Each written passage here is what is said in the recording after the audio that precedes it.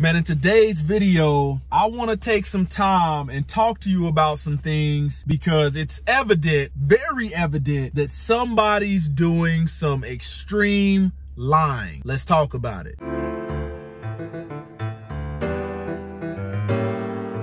What's going on, Closer to God Ministries? Glory to the Most High Yah Shalom for this magnificent day that He has made. Today, we're going to educate, we're going to teach, man, and we're going to, you know, with the utmost reverence, man, I'm going to open your hearts. I'm going to open your eyes. If you have ears that are inclined to listen and hear, you know, I challenge you to go back and verify what I'm saying if you are a child of God. If you're somebody watching this for entertainment, you're not a child of God, then this doesn't really pertain to you. But even the fact of if you consider yourself a child of God, there should be a spirit of obedience and submission to the Most High Yah in you. I'm going to say some things that go against the grain of how you have been conditioned. When we look at statistics of how many believers actually read their Bible, that number is alarming. It's very low. Today, I'm going to talk about some stuff that possibly will enrage you, will possibly piss you off. But before you act out of emotions, I want you to go back and verify what I'm saying so you can be the deciding factor. Am I lying or are they lying? First opening statement that I want to make is you have very few people that believe in obeying the teachings of the Most High Yah and walking in the way of Yahshua HaMashiach. Very few people, let me let me break this down layman style. You have very few people that believe in the teachings of God and walking in the way of Jesus Christ. Let me break that down for those of you who are unstudied. Here's what chances are you know people that are highly religious. Chances are got a lot of education in theology, the study of religion. But when it comes to following the teachings of the Most High Yah and walking in the way of Yahshua HaMashiach, you will realize that possibly your religious leader, they do a lot of deflecting. They do a lot of rejecting where they can't use scripture to answer. They answer with feelings and emotions and they answer with theology. There's certain things that people are teaching that are the way of the heathen. You got to think either they're teaching to follow the law, statutes, and the commandments, or they're not. So in doing this, they reject a lot of what Bible says. They deflect a lot of what Bible says. They insert concepts of theology that are found nowhere in Bible. Bible college will teach you about major and minor prophets. Okay, sounds pretty good in a unborn again spirit in a person who is high minded in education. But when we look at the Bible to break that tie, it don't say nowhere in there that there's major and minor prof. But man has gone to great lengths to get you away from Bible and to get you to focus on all these other concepts. Here we go. Another one that they teach is Trinity, is oneness. Okay? I need book, chapter, and verse where you can find that in where these words are in the Bible.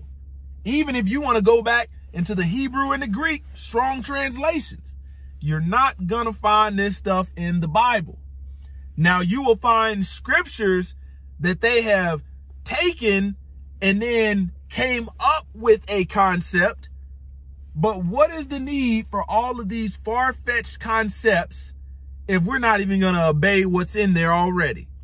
So let's let's let's figure out who's lying. Chances are you have been conditioned by a religious leader and told that Sunday is the day of worship, okay? If you open up your calendar, open up your phone, calendar on your phone, and I want you to start all the way from the complete left, you'll realize that it starts on Sunday, being day one.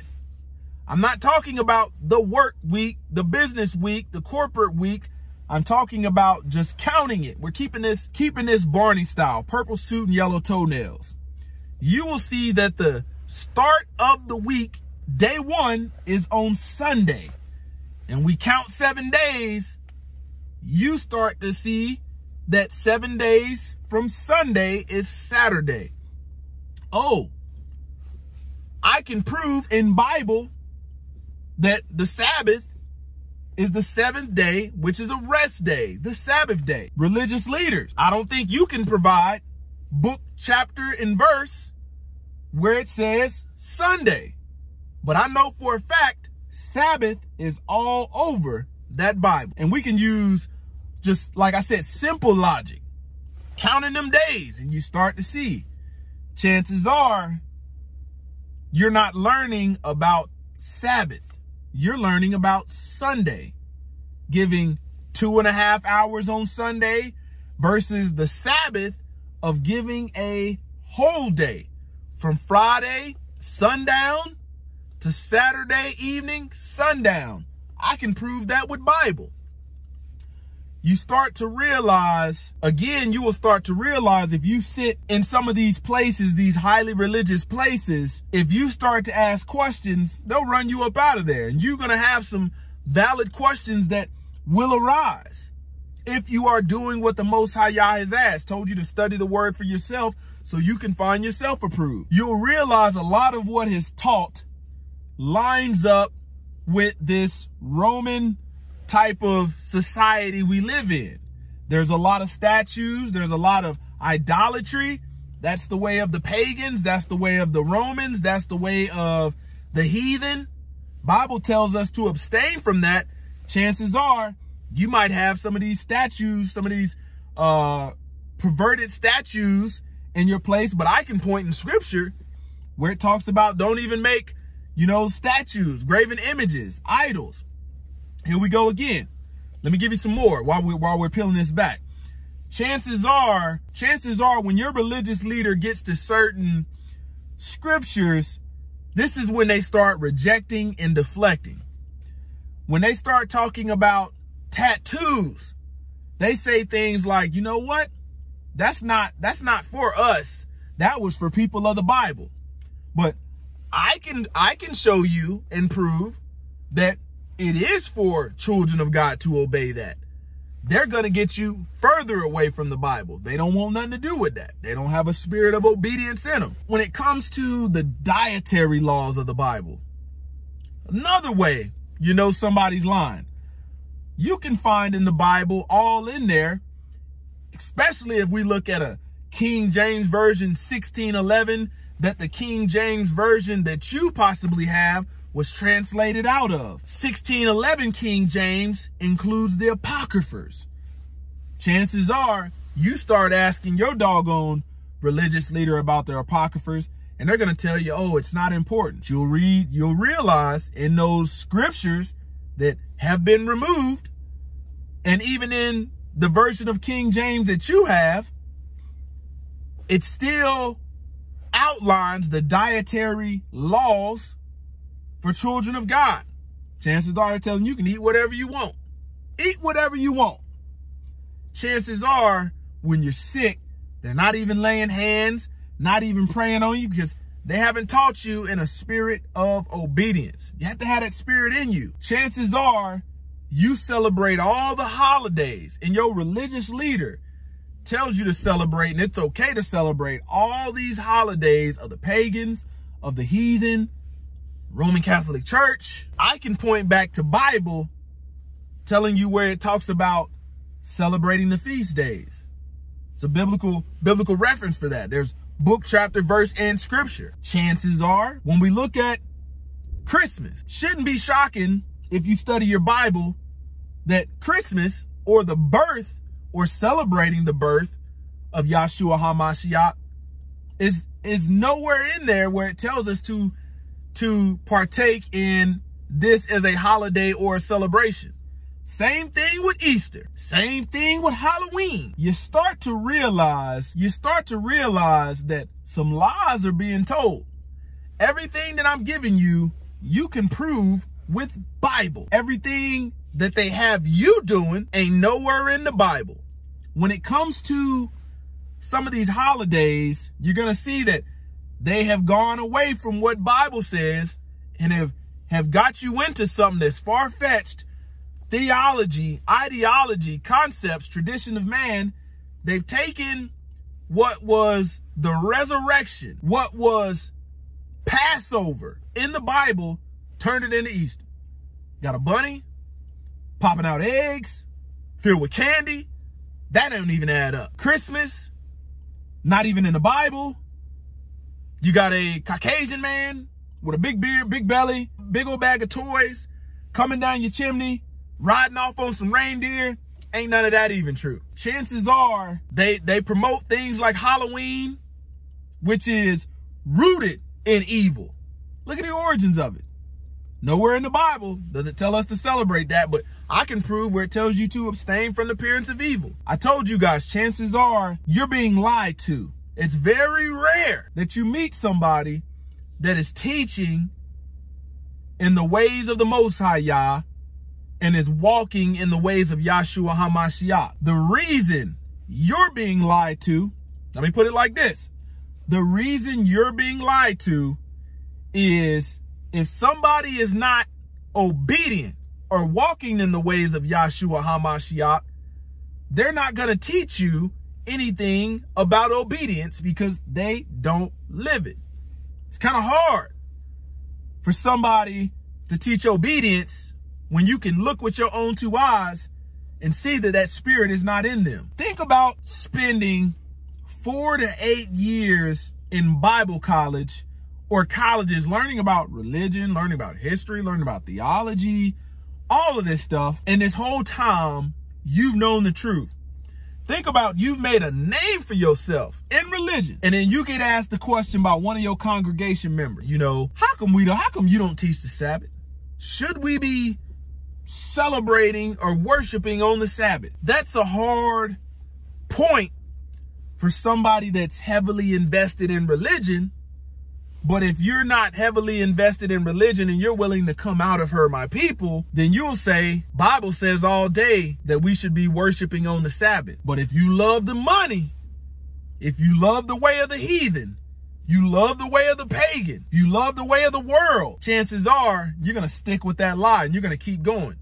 You're going to be 10 toes down in a lie. Think about how many people, let me show you why it's so rare think about how many people, if the pastor came out and said, hey, you know what? We're no longer going to be open on Sunday. We're going to start doing the Sabbath, a Sabbath service, and that's it.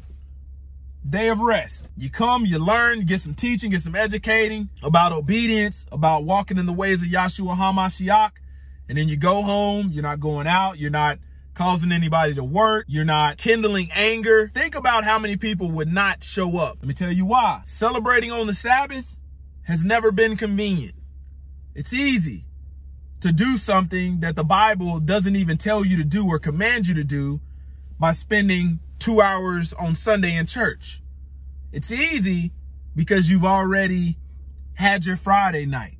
You've already had your Saturday to go rip and run the world because you've been caught up in the rigmarole of going to work Monday through Friday. So you're like, oh man, I ain't worked all week. Now the weekend is my time. But you start to realize you get away from a lot of sin when you start worshiping on the Sabbath day because it means you got to be still. means you have to be learning and studying the word of God. Think about, like I said, how many people would actually you know, continue showing up. You mean to tell me that I'm supposed to stay in the house from Friday night, from Friday sundown to Saturday sundown? I can't go to the club. I can't go to the movies. I can't go out drinking. You start to realize that that's where a lot of the deflection and the rejection comes from. I want to be out doing everything that the Most High Yah has already commanded me not to do. Somebody's telling a lie. I will let you, you know, just with the little bit that I gave you, I'll let you determine who's lying and who is who is truly teaching in obedience and biblical truth, walking in the ways of Yahshua HaMashiach. And here's the difference. If you go back and verify this for yourself from Genesis to Revelations, even the apocryphers, the missing books, you're gonna realize you got a choice to make. Either you're not as serious as you thought you were and you're just getting your ears tickled. You just want to be comfortable. You just want to be lukewarm. Or either you're going to be 10 toes down about walking in the ways of Yahshua HaMashiach and following and obeying the teachings of the Most High Yah. Somebody's doing some lying. I'll let you make the choice. But before you get enraged, pissed off, mad, make sure you go back and open your Bible up and flip them pages until you find that answer you're looking for. And I gave you all the answers and I also told you what is not in there. Seems like we got every church. Seems like we got a lot of these pool pimp pimps teaching that nonsense. Not even in the Bible. Don't forget to comment, like, subscribe. Check out the link in the description because I'm only shooting in gun barrel straight.